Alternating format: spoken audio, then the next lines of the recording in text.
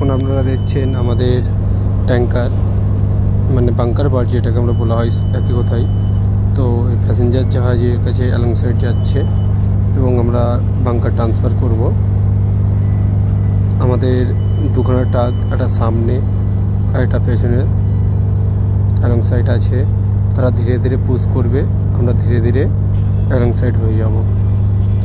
তো এটা দেখতে পাচ্ছেন, সামনে জাহাজটার বালবাস বাবুতে কিছুটা ড্যামেজ হয়ে আছে